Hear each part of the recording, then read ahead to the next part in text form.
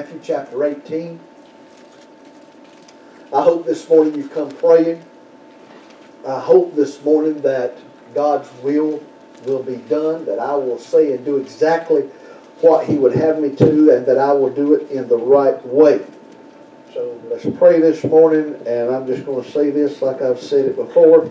If I make a mess of this, you don't blame God, you blame me. Matthew chapter 18, starting in verse number 11, the Bible says, For the Son of Man is come to save that which was lost. How think ye?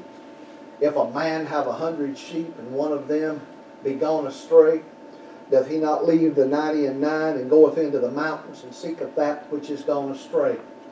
And if so be that he find it, verily I say unto you, he rejoiceth more of that sheep than of the ninety and nine which went not astray. Even so, it is not the will of your Father which is in heaven that one of these little ones should perish.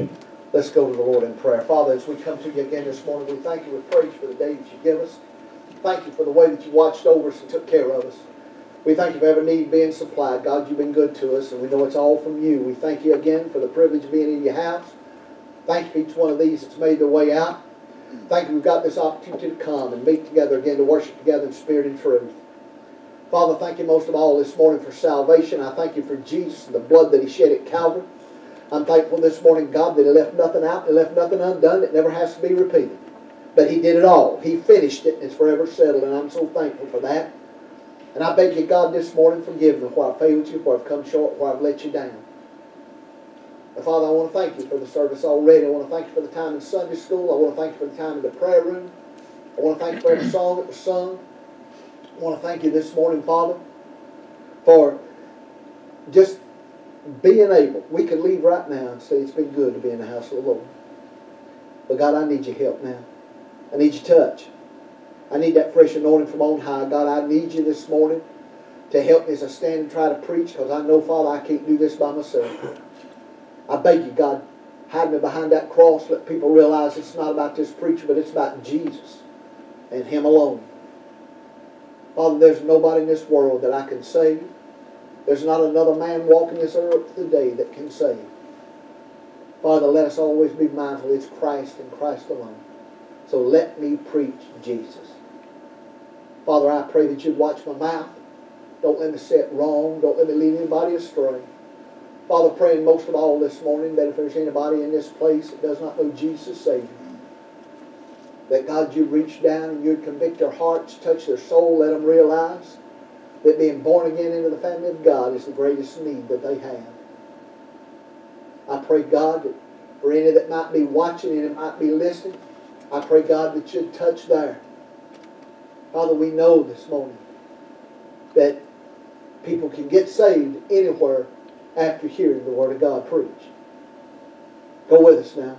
Have your way in this service. For what you do, we'll thank you, we'll praise you, we'll give you the honor and the glory. We ask it in Jesus' name. Amen. When we look at this chapter, when we begin to look at the beginning of it, they bring children to Jesus. And in verses 1 through 5, those are actual children that they're bringing to Him, and He's blessing them. In verse 6, the word little takes a change. When you get to verse 6 on down, he's not talking about actual children, but he's talking about just small individuals. And you say, what do you mean small? Well, in the sight of God, how big are you and I? In the sight of the world, how big are you and I? Because the majority of the world looks down on God's people this morning. When it com comes to size, you look at God's people this morning in comparison to the rest of the world. So we are God's little ones if you have been saved. And if there is anyone who has not been saved, God looks at you as little because you're smaller than He is, and He makes it abundantly clear that He wants you to be born into the family of God. Now, if you leave here without being born into the family of God, you will not blame it on Him. He's done everything that He needed to do. He's provided us with the Word. He's provided us with witnesses to preach it and to tell it. And He's provided us with the Holy Spirit of God to come in and convict our hearts. He went to that cross. He paid the price. He shed that blood. So if I die and go to hell, it ain't nobody's fault but mine. If you die and go to hell, it's nobody's fault but yours. So he tells us here, verse number 11, For the Son of Man is come to save that which was lost. How think ye? If a man have a hundred sheep and one of them be gone astray, doth he not leave the ninety and nine goeth into the mountains and seeketh that which is gone astray? And if it so be that he find it, verily I say to you, he rejoiceth more of that sheep than of the ninety and nine which went astray. He comes back, that passage of Scripture is a lot of Luke chapter number 15, or what's mentioned in the first part of Luke chapter number 15. And he tells us in verse number 14, even so, it is not the will of your Father which is in heaven that one of these little ones should perish. And that's why I'm telling you when he's talking about the little ones in that usage of that word. He's talking about those, uh, us small ones who are nothing in the sight of God, and it is not God's will that any should perish. He tells us very plainly. If when you look in verse number 11, for the Son of Man has come to save that which was lost, he mirrors Luke chapter 19, 10 when he said, For the Son of Man has come to seek and to save that which was lost. When you look at verse number 14, it's not the will of your Father which is in heaven that one of these little ones should perish. He tells us in 2 Peter chapter 3 and verse 9 that he's not willing that it should perish, but that all should come to repentance. He tells us in 1 Timothy chapter 2 and verse 4 that he would have all men to be saved and come to the knowledge of the truth. God does not want you to die and go to hell. Amen. Amen. There's never been anybody born into this world that God wanted to see spend an eternity separated from Him in the place that He created for the devil and his angels. Again, I do not believe in, in Calvinist theology when it comes to predestination. No, sir. If we're going to preach it, let's preach it right. Yeah. You say, well, what's predestination? If you're saved today, you're predestined to be conformed to the image of God. Right. God did not choose you to go to heaven or go to hell. If He did, then why are we wasting our time here this morning? Yep. Amen. That's right. And I think that's why a lot of people likes that theology so they can take the monkey off of their back and say, well, if I go to hell, it's God's fault. No, it ain't. No, it ain't. He's come to seek and to save that which was lost. Now, bear with me just for a few minutes. I'm not going to go in and repeat this sort of, and I didn't plan on this, but it sort of goes along with Wednesday night. I was mentioned Wednesday night that I am thankful for God's blessings. I'm thankful that when He saved me, He gave me salvation, He gave me security, He gave me a surety. I don't have to worry about losing my salvation. And thank God I don't have to wonder whether or not I've got it. Because He says that you might know that you have eternal life. But this morning, just please be patient with me for just a few minutes. Yesterday morning I started out of the house and I thought, dummy, it's cold. It's cold. I was going out to the building, was going to gather up a bunch of trash, went back, I got my coat. Then I thought, how you going to get in the building? Well, I went back and got my key. Had some cardboard boxes out there I was going to need to break down. Go back and get your box cut. You got to have everything you need before you can get the job done. Yeah. You can't go off half cocked. You got to get everything you need, have everything in place to know that the job's going to get done and it's going to be completed. He tells us in verse number 11, For the Son of Man has come to save that which was lost. Yep. Now I'm going to mention, and I'm going to just start off, jump in here, we're going to go on with salvation, but you need to understand, I'm not going to repeat what I said Wednesday night. So don't go to sleep on me and say I'll, I'll doze for half of the message. When He saves us, He gives us something that we could not get ourselves. When He saves us, He does something for us that we cannot do for ourselves. Like, like, that, like that phrase, those little ones, when He's talking not about children, but those who are smaller. Now, there was a time in my life that there were things I could not do for myself. I had to get, you know, I, I can remember when I couldn't I couldn't cook a thing. Now I can't make biscuits now. I can't cook like my wife, but if something was to happen, I could keep from starving even if I had to go to Olympia. But there's things we cannot do for ourselves. There are children who cannot bathe themselves. There are adults get into the situation they cannot save them or they cannot they cannot bathe themselves. There are people who cannot feed themselves. Yeah. And somebody else has to do it.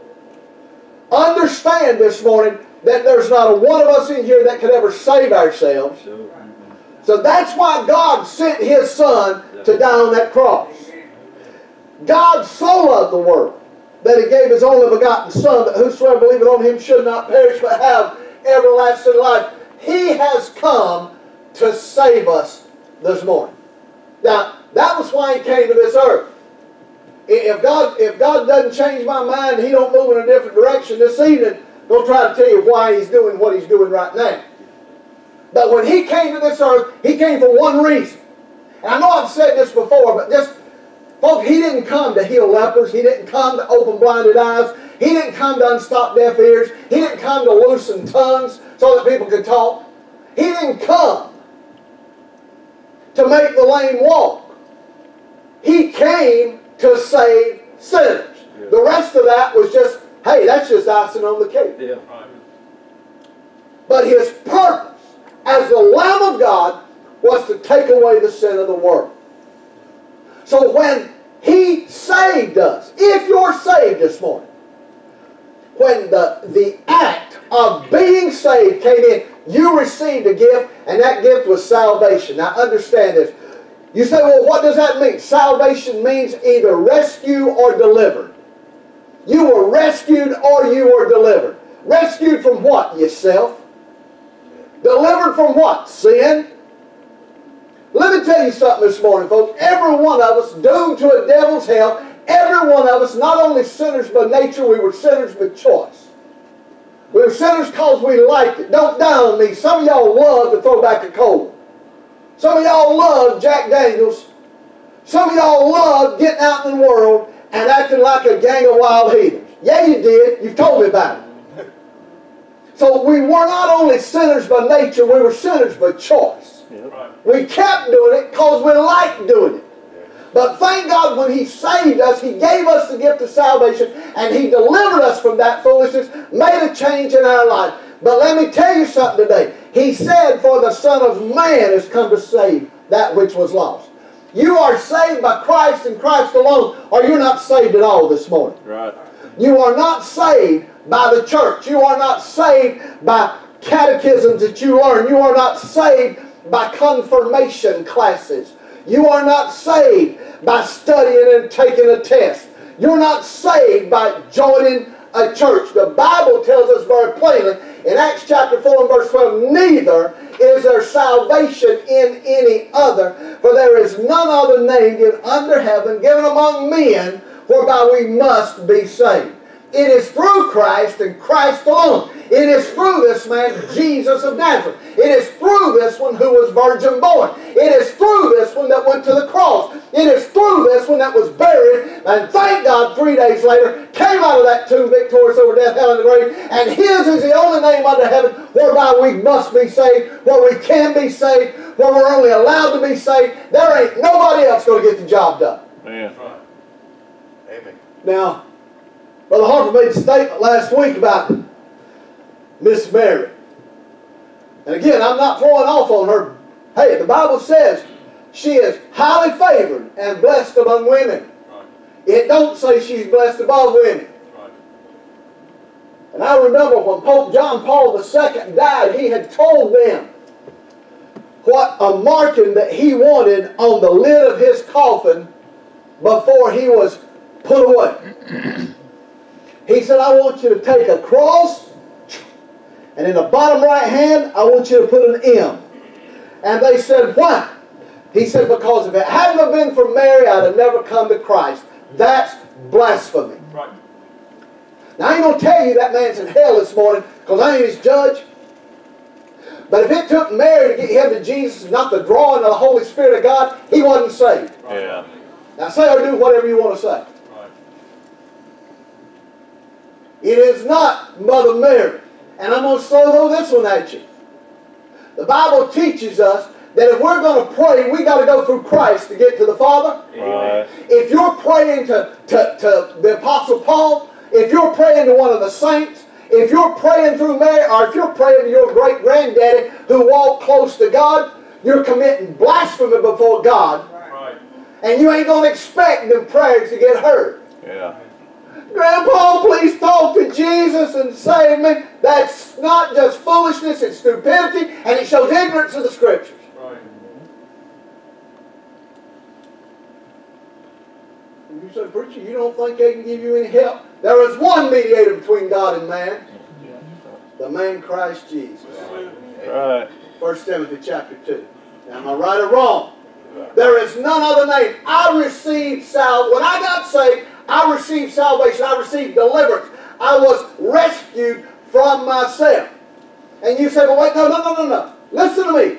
Again, God does not want you and He does not want me to go to hell. The Bible tells us in 1 Thessalonians chapter 5 and verse 9, For God hath not appointed us to wrath, but to obtain salvation, it don't stop there, by our Lord Jesus Christ.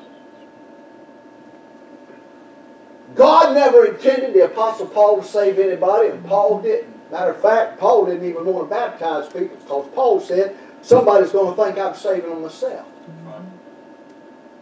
I don't care what some of these cats say. They'll say, well, you know, when I get to heaven and I meet St. Peter at the gate, what kind of foolishness is that? Well, Jesus gave St. Peter the keys to the kingdom, and can I tell you something? Those keys open the door. You hear me? If I'm wrong, you show me. He used those keys to open the doors to the Jews to salvation on the day of Pentecost. And then in Acts chapter 10, he used those keys to open the door of salvation to the Gentiles down at Caesarea when he went into Cornelius' house. He opened the doors, let people realize everybody can go in, nobody's locked out, the doors are open, When we all go into the Holy of Holies. We can come before God through Jesus Christ. He ain't going to be standing at that gate deciding whether or not you're going to get in. Right. That's foolishness. I'm going to get in because of what I did with Christ, or I won't get in because of what I did with Christ. If I accept Him, I'm going home. If I reject Him, I'm going to hell. Yeah. And you'll do one or the other. Well, preacher, I'm just going to ride along and everything will be all right at the end. No, that ain't how it works. You don't have to do a blessed thing to go to hell. But you got to make a move if you're going to get saved by the grace of God. So He is the only way, the Son of Man, Jesus Christ. He is the one that we get salvation. He is the one that we obtain salvation, that we stay away from wrath. Jonah, even Jonah, in the belly of that big fish in chapter 2, he said, Salvation is of the Lord. He knew, even if I go to Nineveh and preach, I can't save these people. And it took a move of God. He preached. The hearts of people were touched. The hearts of people were convicted. And they began to look to God. They began to repent. They knew it had to be through God and through God alone. Right. And that's why Jude tells us, trying to move.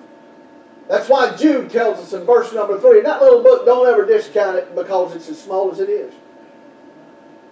But he tells us in verse number three, he says, I gave all diligence to write unto you of the common salvation.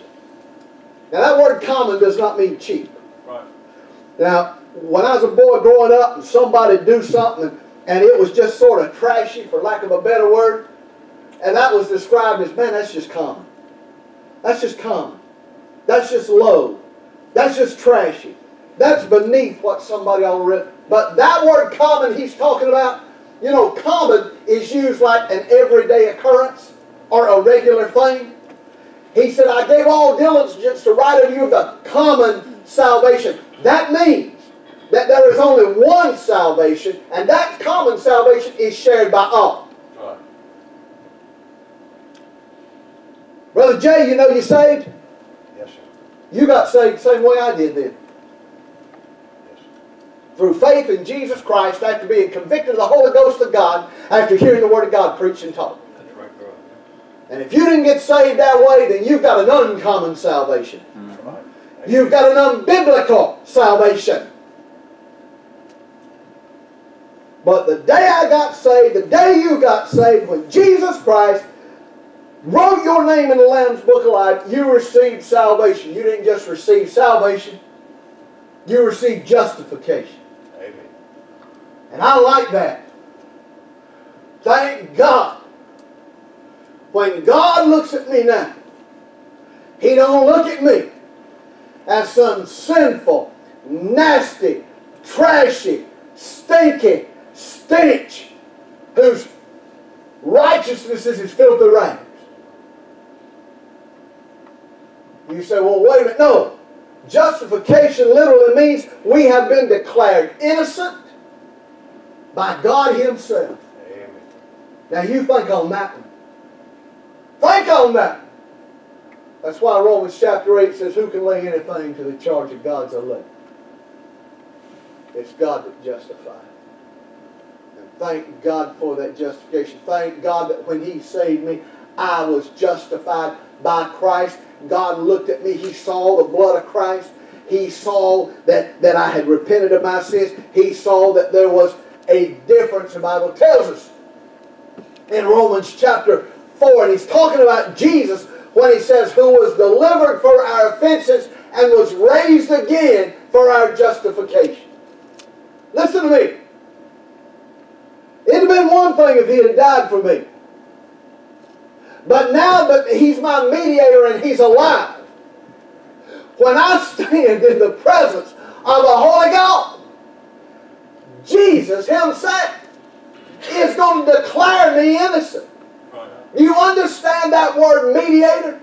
It takes a legal tone, like an attorney. Let me tell you something. I ain't never, if I was to get in trouble and have to go to court, I ain't never going to be my own my own counselor. I want somebody between me and that judge. I want somebody that knows him, somebody that knows how things work, that has no doubt about anything that's going on. And I'm thankful that there is a Savior today. There is a Savior alive today. Yes, He was dead. But thank God He rose again for my justification. He can declare me clean. He can declare me innocent. He declares me as righteous before the sight of God. You say, preacher, Bible says in Romans chapter 3, there's none righteous. That's exactly right before we got saved.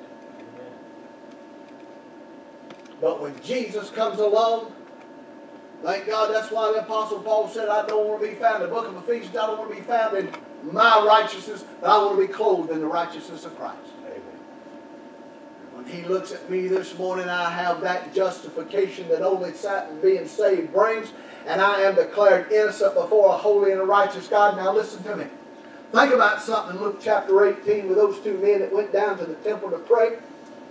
And remember, if you look back up here in, in chapter 18, long about verse 3, verse 4, when, he's, when Jesus said, Except a man humble himself as a little child, he'll not enter the kingdom of heaven. What did he say? In Luke chapter 18, they went down to the temple to pray. And what did the Pharisee do? The Pharisee looked toward heaven and said, God, I thank thee as I'm not that other men are, that I fast twice a week, I give tithes of all I possess. I thank you that I'm not like anybody, especially this guy right here. And what did the publican do? He wouldn't even raise his head toward heaven. Yeah. But he bowed his head and all he said was, God be merciful to me a sinner. Yeah. Amen. And you know what Jesus said? Jesus said, This man, this man went down to his house justified rather than the other. For that everyone that exalteth himself shall be abased, and for everyone that humbleth himself shall be exalted.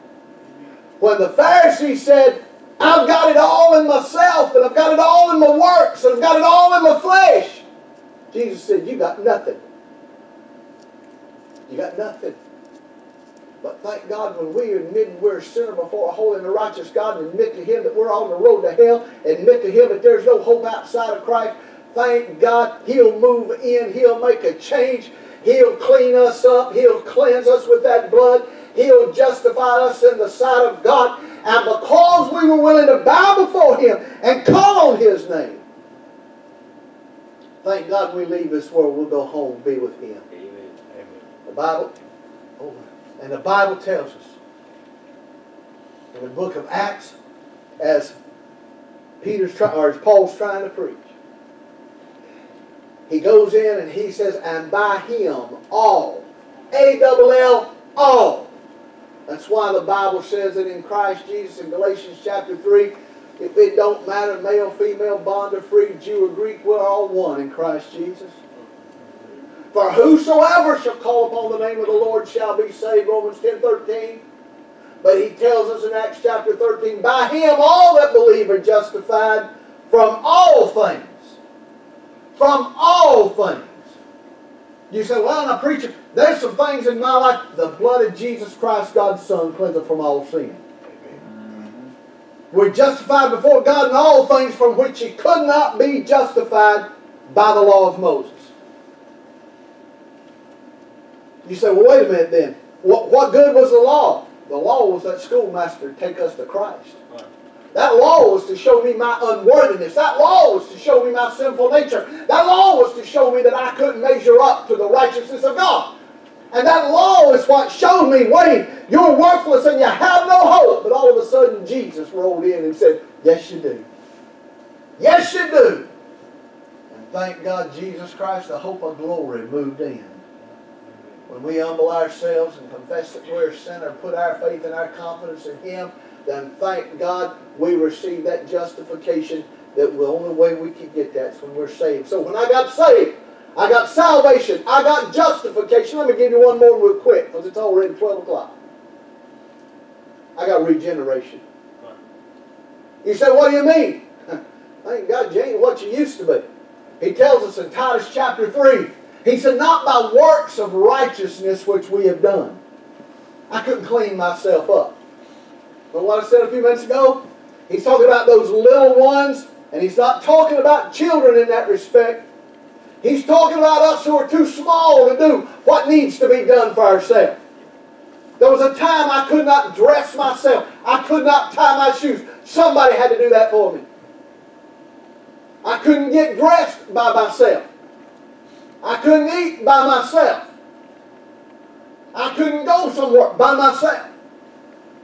Well, I couldn't get saved by myself. So it's not by works of righteousness which we have done, but according to His mercy, Right. which He saved. His mercy, Amen. His love, His grace. Amen. Thank God for it. I heard somebody make a statement one time. I didn't come up with this for myself, but they said, "You take a look. Define grace." And that word G-R-A-C-E, God's riches at Christ's expense. God's riches at Christ's expense. Thank God I got it all, and Jesus Christ paid the price. But by His mercy, He saved us by the washing of regeneration and by the renewing of the Holy Ghost.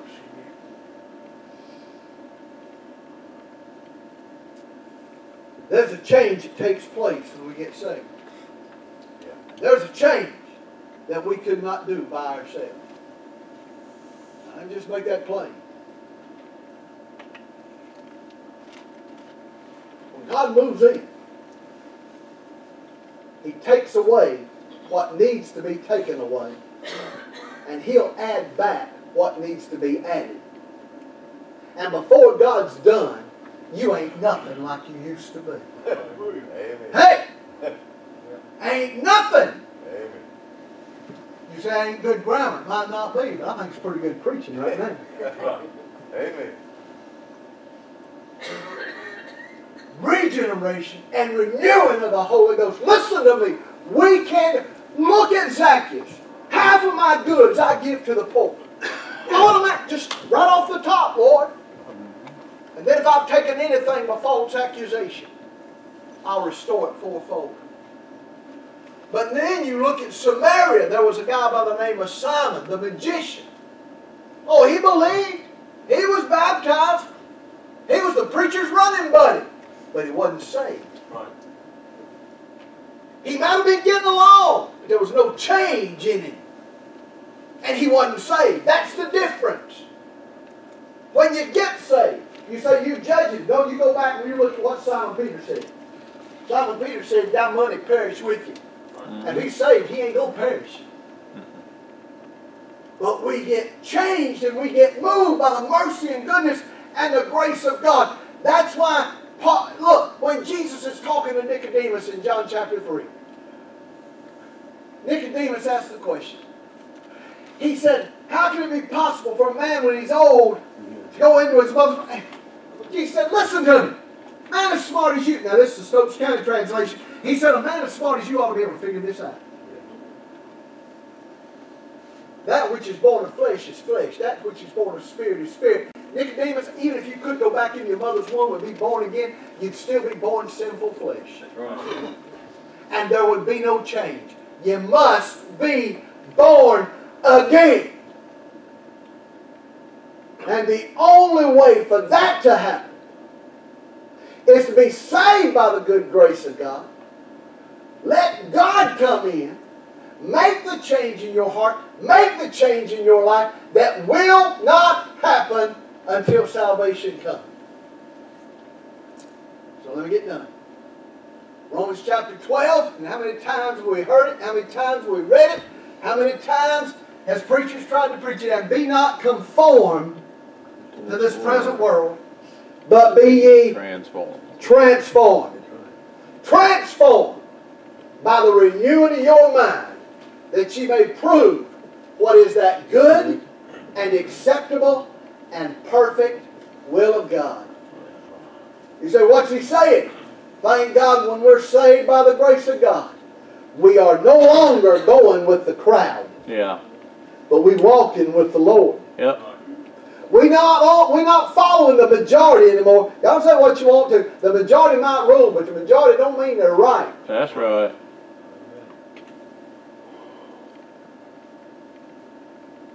And be not conformed, but be ye transformed. Now, and the best way that I know how to say that, and you just heard it in the last couple of weeks, was 2 Corinthians chapter 5, verse 17. Y'all can quote it good as I can. Therefore, if any man be in Christ, he's a new creature. All things have passed away. Behold, all things are made new again. So the day you got saved, now you listen to me here. I'm about done. The day you got saved, you may not have received sanctification. Because God's still working on me. Okay? I'm still not perfect. But we should have made our mind up the day we got saved that we were going to be set apart and sanctified for the Master's use. Now there's some things God needed to get out of us, or He did get He needed to get out of me. Y'all might have been just perfect when you got saved. But there were some changes God needed to make in me. Okay? But the moment you got saved, you received salvation, you received justification, and you received regeneration. Now let me just say this, and I'm going to quit. If there's one of those you don't have, then you ain't saved. Mm-hmm.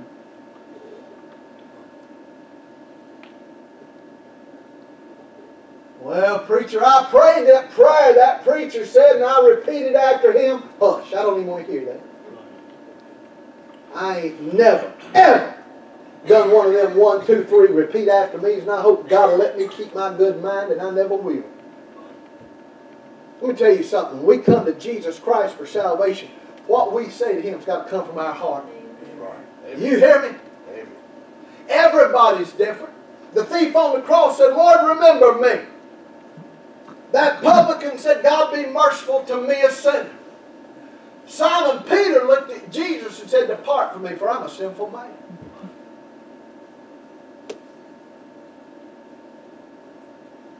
They don't, it's not a script. It's got to be heartfelt. You say, well, preacher, I know I was saved because the preacher said it was. Well, his word and two dollars will buy you a pizza. Amen. Now, I ain't trying to be ugly. But you know, let me tell you something right now. I can take the Word of God and I can show you what it says you need to do to be saved. And I can hear you pray and ask God in your heart. But you're the only one really knows whether or not did it come from your heart or just out of your mouth. Come on. Yeah. You say, well, I'm saved because I'm a member of a church. Uh, No, that ain't going to get it either. Well, I'm saved and I was baptized, so my sins was washed away. Bible says it's not away, not about putting away the filth of the flesh. If water baptism will save you, go home and take a shower. Come on. Am I right or wrong? But regeneration. That's the real test. Are you a new creature in Christ Jesus? Have you been changed? Have you been changed? Are your desires the same? Are your want to's the same? He said, Hey, I want to save you. I want to save you. That's why I came. But when I save you, it comes all at one time. And if there's something you ain't got, then you ain't got the goods. I can put all the water I want to in that coffee maker, but if I don't put coffee grounds in there, all I got coming out is hot water. If I got, if I want a cup of coffee, something's got to be added. Something's got to be changed. If I want to be saved, something's got to be added, and that is the Spirit of God that comes and dwells within us, that will guide us. Jesus said, into all truth. And it is that Spirit of God that teaches us how we need to live and what we need to do and how to get through the rest of our life. So listen to me this morning. Before I could get out to the building yesterday, I had to have my coat, I had to have my keys, and had to have that box cutter, had to have it all if I'm going to get the job done needs to be done. You're saved this morning. Then you know for a fact you've got salvation. You know for a fact you're justified. You know for a fact you have regeneration, that you have been changed and made changes that only the, the good grace of God can bring about in your life. Have you been saved? And that's all that matters. Even so, it's not the will of your Father which is in heaven that one of these little ones should perish. God does not want you to die and go to hell this morning. So you hear me, you hear me plain. I'm finished. I'm done. Do you know you're saved? Now hear me. I'm not your judge. And if you make a way to this altar and you say, Preacher, I've been a church member for 40 years, but I ain't really saved, don't you be embarrassed. It's better for you to get it right this morning than to stand before God and hear the words, Depart from me, I never knew you. Right. Hear me. Don't worry about what somebody might say about you. If they right with God, they'll thank God for you. Yeah. But one of these days we're going to leave here. Have you been saved? Do you have salvation? Do you have justification? Do you have regeneration? If you don't, if you're missing some of that, then the job is not done. And you can't be half saved. You're either saved or you're lost. The Bible says that if thou shalt confess with thy mouth the Lord Jesus, believe in thy heart God's him from the dead, thou shalt be saved. For with the heart man believeth unto righteousness, with the mouth confession is made unto salvation. Ephesians chapter 2 makes it plain that we're not saved by our own works, because I don't have a right to boast. I'm saved by grace through faith. God's grace. My faith. This morning, please, please make your call and election sure. Know for a fact this morning that if something happens today, you're going home to be with the Lord. Father, as we come to you again this morning, we thank you, we praise you. for the day that you've given us, the way you took care of us and watched over us. We thank you, Father, for every blessing and mercy you supplied. You've been better than we ever deserved. We thank you for the privilege of being in your house this morning. We thank you for each one of these that's come out, and I thank you, Father, for the opportunity we've had to look at a portion of your word. God, I know this morning the message was simple, and I beg you, God, to use it for your honor and glory. Father, there's not a person under the sound of my voice that I'm able to save. God, all I can do is bring the word. God, I'm praying this morning that if there is anybody under the sound of my voice that's never been born into the family of God, that Father, you'll touch, you'll convict, that they'll see that need and realize that need before it's too late. That they'll make their way to an old fashioned altar, fall down before you, and say, God, be merciful to me, a sinner. Father, praying this morning that if there's somebody that you might have dealt with many times, I'm begging you, God, give them one more chance, give them one more opportunity. Father, just have your way. Have your way. So, Father, I pray this morning if there's one of your children here that's walking afar off, might be in the middle of something they shouldn't, whatever the need is. God, we pray that you'll work and do the work that only you can. Have your way in this invitation. And for what you do, we'll thank you. We'll praise you. For we ask it in Jesus' holy and righteous name. Amen.